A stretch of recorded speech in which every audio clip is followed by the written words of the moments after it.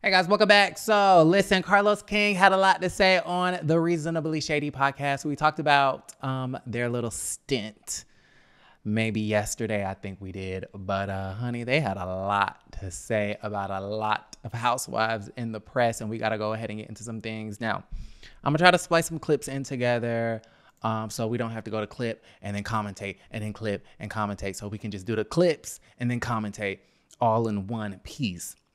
But he talked about how boring Dorito is from Beverly Hills. He talked about how Nene imitated his gay black man mannerisms. Listen, his words, not mine, but I agree. Um, he talked about how boring the Real Housewives of Dubai, I mean, bye bye, is a mess. We're going to get into Lesa and Ayan's uh, response and then um, he kept trying to bring up Miss Monique Samuels, knowing that he is on Gizelle's podcast, knowing that Gizelle do not mess with that woman because Monique is the one with the binder who exposed the relationship or lack thereof between Mr. Bryant and Miss Last Lady. Right. Um, so it's quite interesting. Uh, go ahead and check out these clips. Dorit is so boring. She has nothing going on. Twitter ruined Dorit. Nene will have her friends over and she was like, Carlos, come here. Do that thing you did when you used to swipe your bangs away. So then she started taking my mannerisms and she will apply it on camera. Let's talk about the Real Housewives of Dubai, which I like to say the Real Housewives of Bye because I don't think they're being themselves. The only thing that stands out to me is is the is the model girl. Currently, she's exactly where she should be. which is with you. Now, you guys, Carlos, I don't know what the hell he was on, but Hunty, he was slinging. I mean, that whole podcast was a mud slinging contest. I mean, shade, a shade fest. Shading the girls all over the place. He started off shading the hell out of Beverly Hills star Miss Dorito, Dorit Kemsley. Um, and I think he was trying to say, how social media has really kind of ruined the housewives of experience because now some of the housewives are all over Twitter. They're seeing what the fans are saying and they're trying to be what they think the fans want to see instead of being their authentic selves. And someone who has fallen victim to this is Dorito. Okay. He says, Nobody wants to watch Dorito get dressed in her rented Louis Vuitton. He said that Dorit's clothes are rented. Okay. He said, Don't nobody want to watch you get dressed in that damn closet, sis. Right. Um, you know, we want the old Dorit back. And my whole thing is, I don't know how Dorit used to act because honestly, I think I fell off of Real Housewives of Beverly Hills like back in season two or three. I think after season two, I kind of stopped watching for a really, really long time. And then I think like when Denise got on there, I picked it right back up. So um, yeah, I'm not really familiar with Carlton and Joyce and Lisa Rinna when she first got on, and Eileen when she first got on. Um, and all of it. Actually, I picked back up during Puppygate. When Lisa Vanderpump left, that's when I started watching again. He said, We want old Dorito back. Now, I don't know how great Dorito was, but apparently Dorito was not very liked in her first two seasons. And I feel like you know, Carlos is suggesting that she's trying to be what the fans want, but it's not really working out for her. Listen, is Dorito the most interesting thing on the block? Absolutely not. Um, but I don't dislike her this season. Like she hasn't pissed me off. She hasn't um, really done much. So maybe that's why I don't really have a feeling negative or positive. Um, but yeah, I mean, maybe she calmed down a, a, a lot because um, she yelled at Garcelle and she knew Garcelle was not taking it this season. So, so she, listen, Dorit was like, let me calm my happy ass down. Okay. And then the woman just got robbed. And so she going through her mental and going through the therapy and the whole thing. Anyways, then he started talking about Nene Leakes, um, saying that when him and Nene first started their relationship, their working relationship, where he was her producer in the first couple of seasons of Atlanta and then became the EP, him and Nene would talk and hang out. And um, Nene started picking up on his mannerisms. Nene started picking up on his sayings and his doings. And um, she started, you know, emulating that on the housewives, which I thought was really interesting because a couple of months ago, I came onto the platform and I basically said that I feel as though um, Nene acts like a gay man trapped in a woman's body. And I got some comments talking about Aaron. What in the hell are you talking about? What are you talking about? And I'm like, listen, how many cis straight women are just walking around talking about some, I'm about to hang out with my good Judies? Yes. Like that is so extra.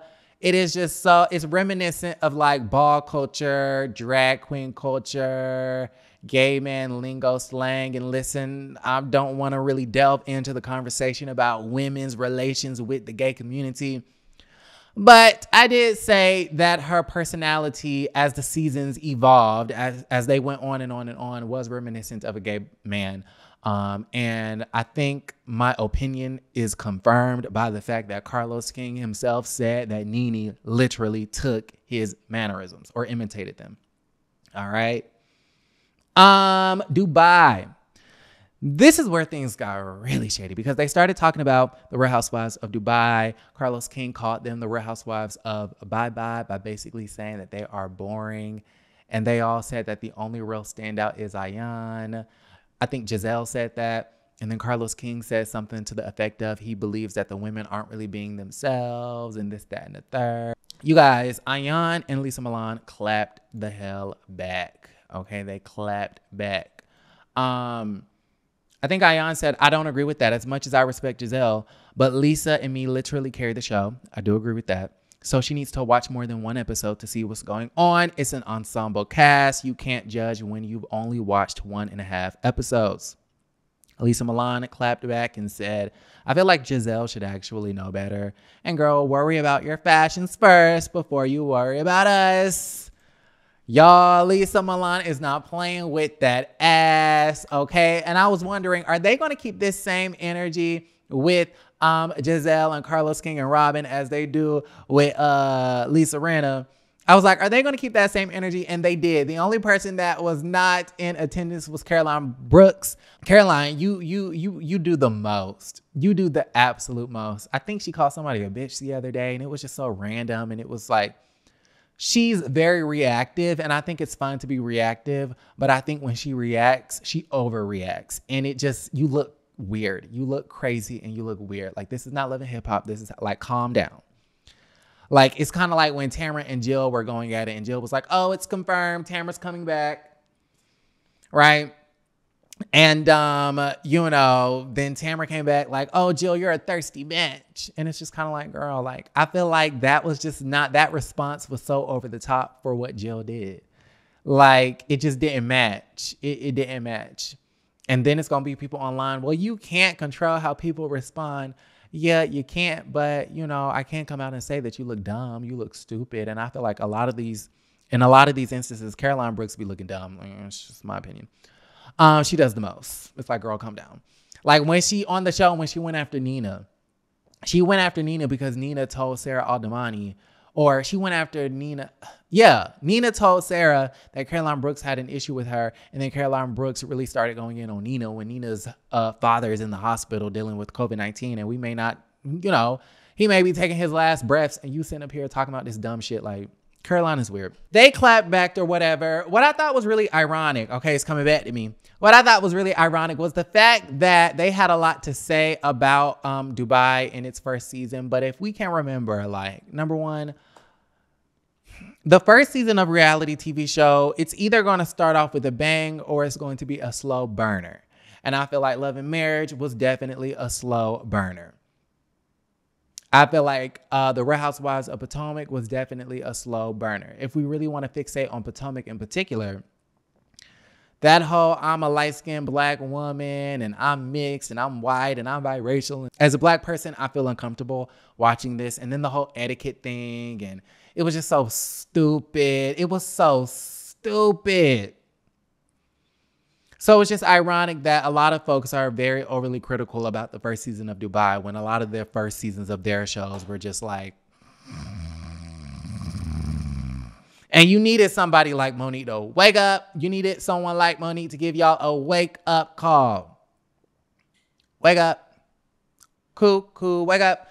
Um, uh, so then they started talking about Monique. Speaking of Monique, right? Because Carlos King was being super messy, knowing that Gizelle do not mess with that girl. Carlos King kept trying to bring up Monique Samuels, and he just finally broke the ice and was like, Do you think Monique was great for the show? Both Robyn and Gizelle said, Yes, Monique was great for the show. However, Gizelle went on to say that Monique is exactly where she needs to be, and that's with you, Carlos King, on OWN. And I thought that was so shady. That was, and listen, Carlos couldn't even compete with that shade. I mean, it was shady because if we compare Bravo and the Real Housewives franchise with OWN and the Love and Marriage, I mean, come on, come on. That was shady. No, no, no. It wasn't reasonable, but it was shady. Mm-hmm. Y'all gotta let me know how y'all feel about that. That was pretty much it. I think that was it. So let me know how y'all felt about this podcast. It was super shady. And do you agree with what Gizelle and Carlos and them had going on?